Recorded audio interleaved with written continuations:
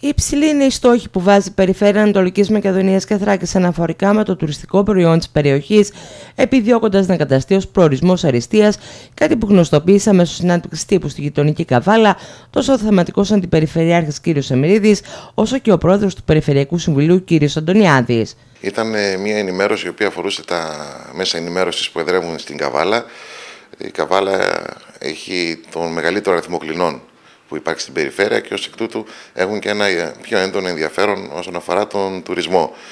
Ε, η κουβέντα ήταν να παρουσιάσουμε την στόχευση που έχουμε, να προσπαθήσουμε να δώσουμε το μήνυμα στους ιδιώτες της περιοχής ε, να σταθούν δίπλα στην περιφέρεια, δίπλα στις προσπάθειες που κάνει η περιφέρεια, διότι πιστεύουμε ότι η 12 τουριστική δραστηριότητα και, και το να αναδειχθεί η περιφέρεια Ανατολικής Μακεδονίας Τράκη σε τουριστικό προορισμό αριστείας ε, έχει, κρίνεται σε μεγάλο βαθμό η επιτυχία αυτών των δύο στόχων από τη συμμετοχή των ιδιωτών και την παροχή υπηρεσιών που προσφέρουμε στους επισκέπτες μας. Ωραία, οπότε λοιπόν ε, δόθηκε και μια ιδιαίτερη βάση και στην ε, Βίζα 72 ώρων. Δύο λόγια λίγο να πούμε και γι' αυτό. Ε, ιδιαίτερη βάση ε, δεν δώσαμε την έννοια ότι ήταν μια γενικότερη κουβέντα.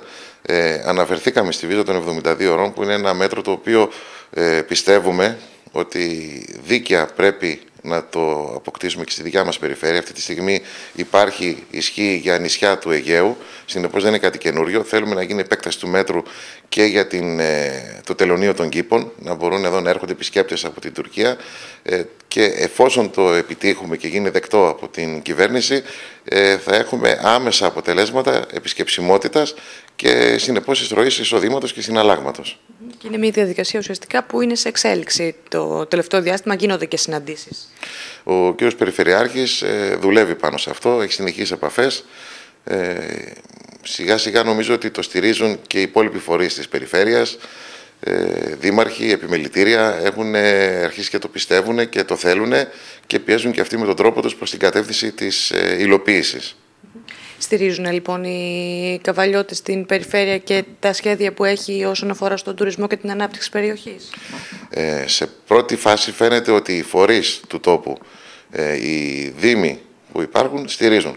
Σε δεύτερο βαθμό και οι ιδιώτες ε, ενδιαφέρονται πολύ. Είναι μια διαδικασία η οποία θα φανεί σε βάθος χρόνου.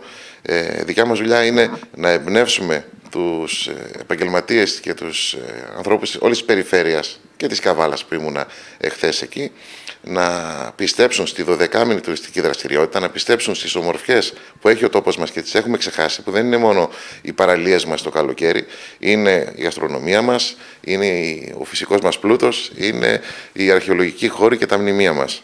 Να σημειώσουμε ότι οι δράσει της περιφέρειας στο κεφάλαιο τουρισμού είναι συνεχεί και εντατικές, αφού στόχος είναι η ενίσχυση και ανάδειξη του τουριστικού προϊόντος που μπορεί να φέρει χρήμα και φυσικά θέσεις εργασίας σε μια περιοχή που δοκιμάζεται σκληρά από την αποβιομηχάνηση και την ανεργία.